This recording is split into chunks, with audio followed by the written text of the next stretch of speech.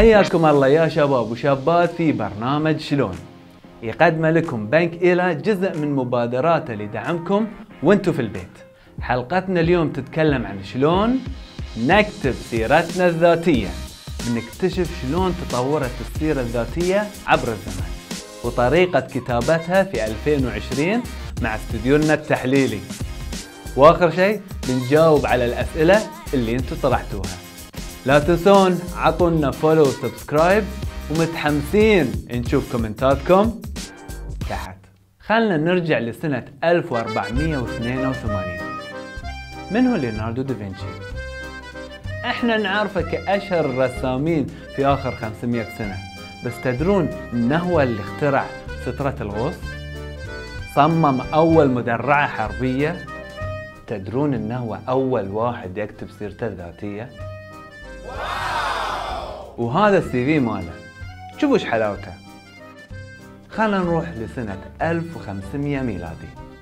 كانوا العمال ينتقلون من قرية إلى قرية في يدهم هالسيرة هذه تعرف عن مهاراتهم وفائدتهم حق المكان الجديد طريقة السيرة كانت كالرسالة. لها مقدمة ولها أسلوب في طرح المهارات والخبرات اللي ممكن هم يستفيدون منها. وإذا سرعنا شوي إلى 1930 بنلاحظ أن السيرة الذاتية تغير شكلها من السيرة اللي أنا كاتبها إلى الملاحظات اللي كاتبتها المؤسسة لين قابلتني إلى 1950 السيرة الذاتية صارت الوثيقة الرسمية اللي المؤسسات توظف من خلالها. قاموا الناس يتفننون في السيرة الذاتية. قاموا يضيفون اهتماماتهم وهواياتهم على أساس يروون صورة أشمل لشخصياتهم حق المؤسسات. هاي الكلام في الستينات وإحنا للحين قاعدين نتساءل إذا نحط هواياتنا ولا لا في السي في. وصلنا إلى التسعينات.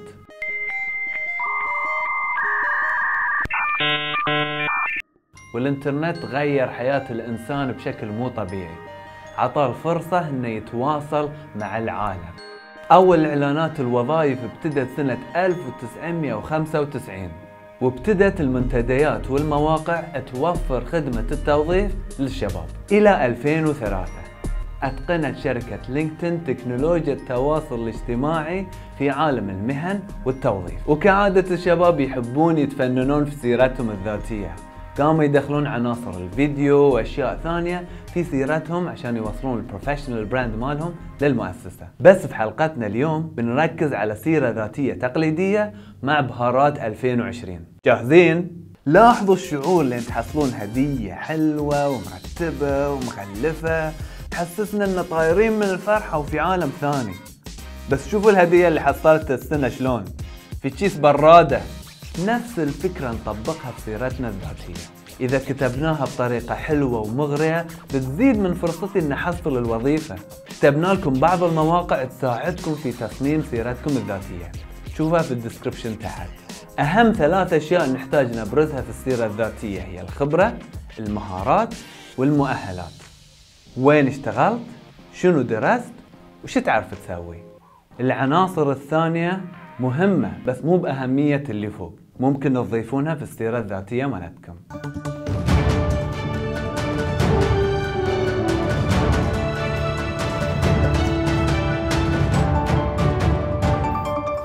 نرحب فيكم في استوديونا التحليلي. عندنا ثلاثة ش... عندنا ثلاثة أشخاص مقدمين حق وظائف في بنك إلا وبنحلل سيرة كل واحد فيهم ونبي آراءكم تحت. بنبتديها بتحليل CV. أمينة خالد. كشكل عام CV أمينة عادي. ال font اللي تستعمله لكم عليه. يبي له شوية يتكشخ. والزين إن اسمها واضح فوق مع معلوماتها الشخصية والتواصل. وضحت لنا جنسيتها وهي نقطة مهمة عندنا في المنطقة. بس المعلومات الثانية مو وايد مهمة.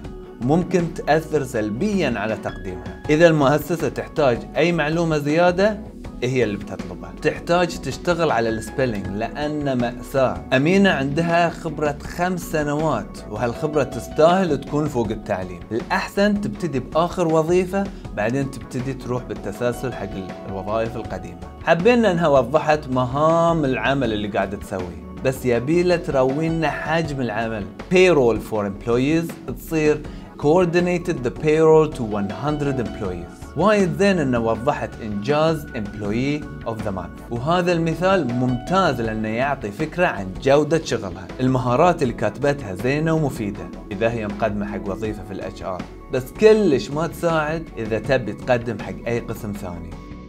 حيا الله فاطمة. شو ال CV الحلو والجذاب؟ يمكن الألوان تعور العيون بس الصراحة في مجال كبير إن بنك إيلا يحبونها لأن أسلوبها شبابي. نوع الوظيفة اللي قاعد تدور عنها واضحة والتصميم يبين هالشيء. تحتاج فاطمة تكتب تفاصيل خبراتها بصيغة bullet points لأنها وايد اسهل للقراءة.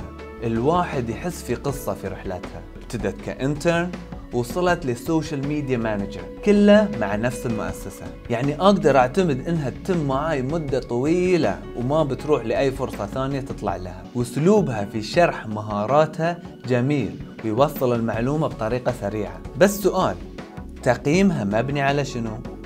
قاعدة تقارن نفسها بالناس اللي حواليها أو هذا تقييم شخصي؟ أوه يا يا يا يا ماجد شو ال CV الزقرت؟ أهنئك على CV شكله مرتب وخفيف على القارئ توضيحك لخلفيتك وتوجهك في ال web developer وايد يساعدني عشان أعرف في أي قسم أوديك وأخليك تشتغل فيه. ال profile ماله حلو وغير عن المعتاد. عشان نطوره شوي ممكن تشاركنا إنجازاتك بتوضيح كم website و app اشتغلت عليهم. عادي تفتخر بس ما هم إذا شيء يسوى. وزين كاتب لنا شهادات احترافية ومو صاف لنا اسماء محاضرات وندوات بس شاركت فيها. خربتها يا ماجد في ال interests. ندري إنك مثقف وتحب تتعلم وايد أشياء واهتماماتك كثيرة بس شوي شوي علينا. بدل ما تكتبهم ورا بعض كفقرة ممكن تقلبهم نقاط يفضل ثلاث إلى ست نقاط. مو عشرين السي في الوحيد من بينهم اللي رواني عنده ريفرنسز مراجع ممكن أكلمهم. بس نصيحة اكتب available upon request عشان تكلمك المؤسسة وتعطيهم المراجع المناسبة لأن المؤسسات بتكلمهم وأنت تحتاج تهيئهم حق هالشيء.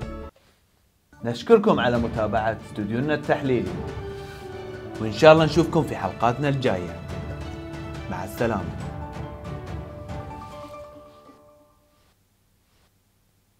ها خلصنا؟ الحين بنجاوب على الأسئلة اللي أنتم طرحتوها.